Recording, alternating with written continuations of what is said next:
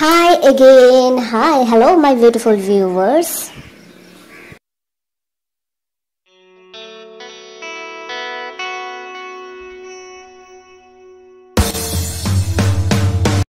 Welcome और welcome back to my channel आज फिर से सियप्पा हो गया देखिए कॉफ़ी सारा गिर के नीचे और इधर बस तो थोड़ा सा कॉफ़ी बचाए हाय फिर से भूल गई मैं इस चीज़ को कि कॉफ़ी गर्म करते टाइम इसका ढक्कन खुला खुला रखना है। एनी वे नेक्स्ट टाइम ध्यान रखूँगी। तो मैं आज बना रही हूँ मसूर दाल के साथ पम्पकिन ग्रीन और साथ में बना रही हूँ ओकरा यानी कि लेडी फिंगर की सब्ज़ी। और यहाँ मैं अभी मिक्स करके रख रही हूँ अपना जो है हेयर कलर एंड अभी अप्लाई नहीं करूँगी इसको मैं अभी रख दूँगी थर्टी मिनट्स के लिए। फिर जाके जाकर मैं इसको बालों में अप्लाई करूँगी। और देखिए मैं मसूर दाल के साथ जो पम्पकिन बेन है कैसे आ, आज बना रही हूँ। मैं इसको एक्चुअली फ्राई करूँगी। तो मैंने पहले मसूर दाल को बॉईल कर लिया है। थोड़ा सा पानी ऐड करके और उसमें नमक ऐड करके और यहाँ पे मैं राइस चढ़ा दिया है। मैंने राइस चढ़ा दिया है यहाँ पे। और फिर देखिए, यहाँ पे मैंने हरी मिर्च और थोड़ा थोड़ा सा टू थ्री क्रॉप्स गार्लिक को क्रश करके पहले मैंने रोस्ट कर दिया कर ली थी with cooking oil and then उसके बाद मैं यहाँ पे पम्पकिन जो बेन है स्टेम एंड लिप्स उसको ऐड कर दिया है और साथ में थोड़ा सा नमक एंड हल्दी पाउडर और उसके बाद ये थोड़ा सा इसमें थोड़ा सा सॉफ्टनेस आ जाएगा। देन उसके बाद यहाँ पे हमें ऐड करने हैं मसूर दाल, जो कि मैंने पहले ही बॉईल करके रख दी थी।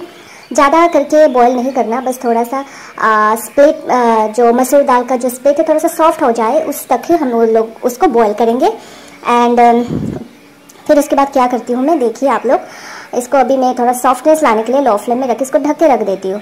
देखिए अभी थोड़ा सॉफ्टनेस आ गया है इसमें देन यहाँ अभी मैं मसूर दाल ऐड करूँगी। वो जैसे होते हैं ना रेडिश ग्रीन्स रेडिश का जो ग्रीन्स होते हैं ग्रीन्स आई मीन जो आ, क्या बोलते हैं उसको साग हाँ साग होते हैं उसको जो जैसे मसूर दाल के साथ बनाते हैं ना तो वैसे ही बनाते हैं इसको तो आ, ये जो पम्पकिन ग्रेन है थोड़ा सा पुराना लग रहा है मुझे और अच्छे से मतलब ये पक नहीं रहा था मतलब कि कुक नहीं हो रहा था तो मैंने इसमें थोड़ा सा पानी ऐड कर दिया है फिर से मैंने इसको ढक्कन लगा दिया है तो अभी इसको मैं क्या करती हूँ इसमें ही मैं जो है मसूर दाल बॉयल की थी वो ऐड कर देती हूँ जो कि मैंने कर दिया है एंड उसके बाद इसको ड्राई ड्राई ड्राई कर लेने हैं. और वही आज मैं दोबारा से अपने बालों पे हेयर कलर अप्लाई करने वाली हूँ. मेरे बालों पे ऐसे ही चार पाँच four four two five times तो ऐसे अप्लाई करनी होती है मेरे बालों पे आ, जो है कलर अगर आ, अच्छा सा कलर चाहिए है तो क्योंकि बहुत ही मुश्किल हो जाता है मेरे बालों पे कलर आना. हाँ इतना ज़्यादा मतलब ब्लैक हेयर शायद. हाँ इस वजह से नहीं आता। अच्छा खासा बाल होगा मेरा जो दूसरे कलर को एब्जॉर्ब नहीं करता। हाँ हाँ हाँ केमिकल्स को। एनी वे मैं जोक कर रही थी। कुछ भी बकबकाती रहती हूँ मैं। और ये जलेबी जलेबी जलेबी इसको मैं कंटेनर में रख देती हूँ। अभी खाने का मन नहीं है। आ, पापा को दे आई पापा खा रहे हैं। तो हाँ वही हाँ देखिए, इसका हाल कुछ इस तरह है।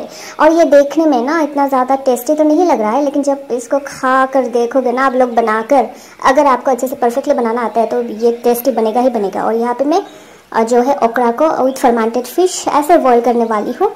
एंड चढ़ा दिया है मैंने ओकरा को बॉयल करने के लिए with fermented fish onion salt and haldi powder और देखिए, ये भी बन रहा है। देन इसके बाद मुझे आगे का काम भी करने हैं, जो कि है घर का काम। तो मिलते हैं नेक्स्ट ब्लॉग में।